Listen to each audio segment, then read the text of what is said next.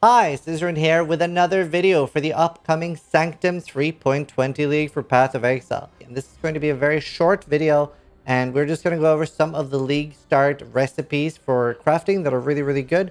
If you want in-depth tips and tricks and going more into a lot of recipes and stuff, we have a PoE University episode with Steelmage that's also up on YouTube. Make sure you check that out. And um, yeah, we're going to make a super quick episode with some recipes that can help you have an even better league start.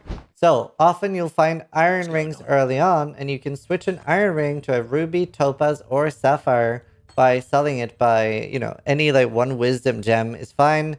Just needs to be a different gem. And then it's not always the bottom res. You can actually get max as well, which is 30. So that's really, really good. And uh, another thing is really good if you're a caster and you want like fire or cold or lightning damage to spells, there's a recipe for that as well.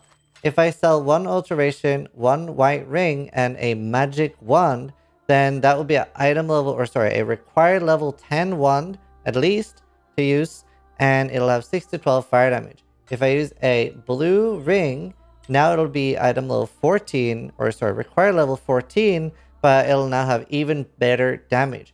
And if we finally use a rare ring, it'll now be level 20 to use and it'll have a lot more flats. So there's different tiers. You get tier 6, you get tier uh, 7, and you get tier 8. So really, really strong caster recipe there. And um, great source to use essences on uh, when you're like level 20. Just to throw it on a ring and then vendor it with that. We also have a similar recipe for uh, melee.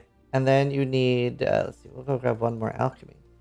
So there, these actually do not have a white recipe. The rustic sash needs to be um, uh, either blue or rare. And with a blue, it'll be between uh, 40 to 49. And with a rare, it'll be between 50 and 64. So it can give you quite a lot of melee damage early on there. Really, really nice. Uh, we also have a plus one gem recipe. This is uh, a little bit like later on day one, unless you're trading for it, but in Solo Self-Found might be on day two or three. And um, if I sell a white wand, and these are, this is uh, a lightning tagged gem with 16 quality, a lightning tagged gem with 20 quality, and another with 16. The important thing is that they total 40 quality. So if you had a shit ton of gems with 5 quality that are all tagged lightning, it'll still sell for plus 1 all lightning spell skill gems. And then obviously you can do a augment and regal on it afterwards. You could end up getting something pretty usable. Um, and this works for everything. Chaos as well. It works for minion on helmet. And uh, really, really nice as an early recipe. They just all need to have the same tag in the gem. And then there's another recipe. Crafting amulets can be a little bit hard, right? It's like, oh, well, what if I could scour for free? So we can't turn them into turquoise amulets or anything else, and it doesn't work to scour any other item. But if you do uh, or are okay with using an onyx amulet, then you could just do this repeatedly and save yourself a bunch of scours, which obviously you might not have a lot of on League Start. And if you're lucky, maybe end up with a really good item. That seems so scripted. That's amazing. Um, that's so great. Wow, that's insane. Why did I do this before League Start? Wow, no wonder people think YouTube recline is a thing. Holy. Um, woo, sheesh. I did, this is literally the first take too. Not that you should believe that, but still.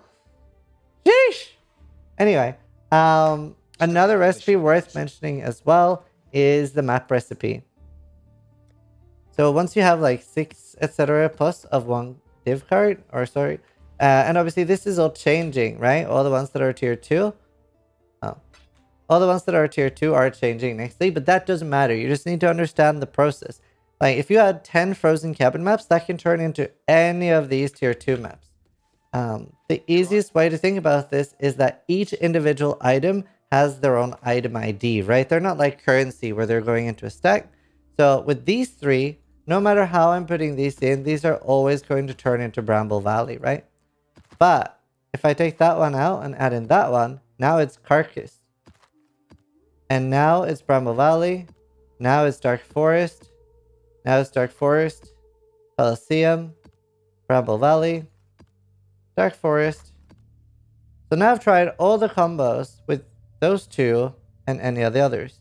However, I now have a whole new bunch of combos to try with these two and, the others.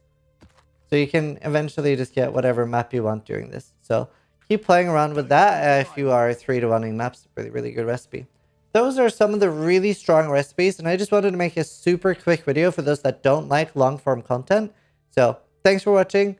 Good luck in the next league. Sub if you like the video, but more importantly, try to die less than I do.